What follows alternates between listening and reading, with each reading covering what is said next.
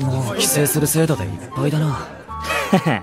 なんかみんなそわそわしてんね。さて学園長はと。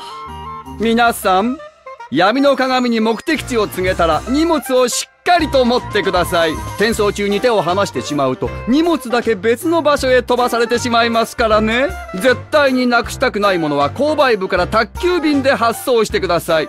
めっちゃこの真冬にアロハシャツって南国に遊びに行く気満々じゃん。浮かれた気持ちを隠す気がゼロすぎるな。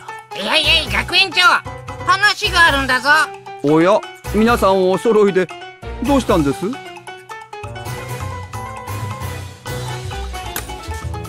あああ元の世界に戻る方法ね 嫌ですね。ちゃんと探していますとも。この冬季休暇はまだ行ったことがない南の地域へ調査範囲を広げようと思ってるんですよ。私とっても真面目なので。調査に向かうって格好じゃない気するけど。そうだそうだ。思う存分休暇を満喫する気なんだぞ。何をおっしゃいます。南の国ではこれが清掃豪に行っては豪に従え。冬の寒さを逃れ南国で穏やかな海を眺めつつハンモックでココナッツジュースを飲む。そんな優雅なバケーションを満喫しようなんてちっとも思ってもいませんとも。ええ。なんて具体的な言い訳だ。お前だけずりんだぞ。俺様たちも南国に連れてけ。えー、それでは楽しい休暇が台無し。あん君らを連れて行くには危険な調査になりそうですから。ここは私が一人で向かいます。それに君たちには学園に残り重要な任務に当たってほしいのです。ナイトレイブンカレッジの存続に関わるとても重要な任務です。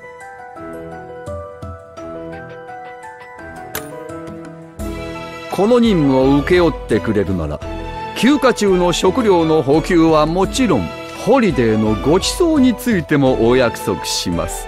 ローストターキーにケーキにジンジャーブレッドハウス。そうだ。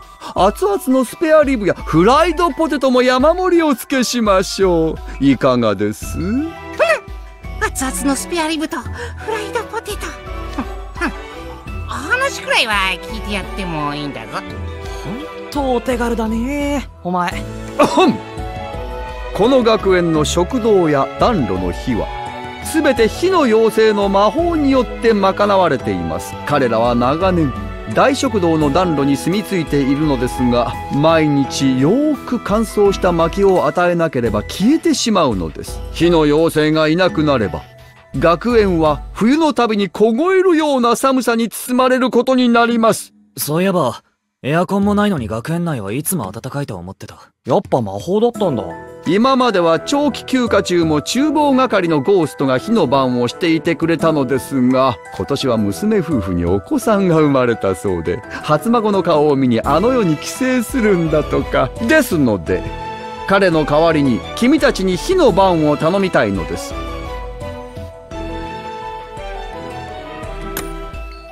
まあ、そこは愛が生んだミラクルということで深く考えてはいけません。うんうん。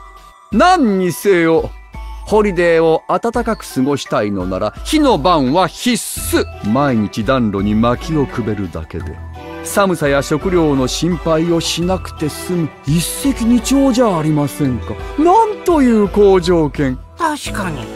今までの無茶ぶりに比べれば超楽ちんな気がするんだぞ。そうでしょう。こう見えて私、とても優しいので、ああ、そうそう。私が長期不在にするので、これを君たちに渡しておこうと思ったんです。あスマホじゃん何か緊急の用事があれば、このスマホで私に連絡してください。こちらはあくまで緊急連絡手段です。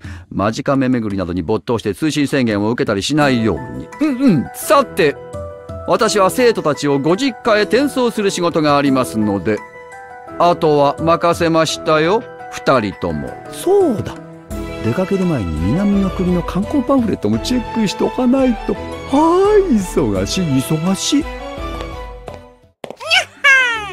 これでホリデーはごちそうがたんまり食えるんだぞ。なんか手よく丸め込まれた気がすんな。まあお前らがいいならいいけどさ。はいはーい。そこの君たち道のど真ん中に突っ立ってないでどいたどいた